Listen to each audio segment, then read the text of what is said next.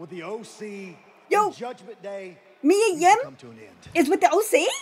They've been a thorn in my side Okay. ever since WrestleMania because I wouldn't join their little Okay, I'm trying to imagine the Rhea Ripley So I'm matches. officially challenging Finn Balor to a one-on-one match at Survivor Series, and we put an end to this. Survivor Series. doubt, Gonna be lit. No doubt AJ handles his business at Survivor Series. Just like the toughest woman in the building, Michin, handles her business tonight in her return match. Oh, she got a new name. We calling. Chin? It's kind of a nickname. It means crazy in Korean. But boys, I'm about to go to the ring, so you guys chill at the dojo, keep the beers on ice for when I come back and we can celebrate. All right? Yo, return. Throw it up, girl. Yo, throw it up, throw it up.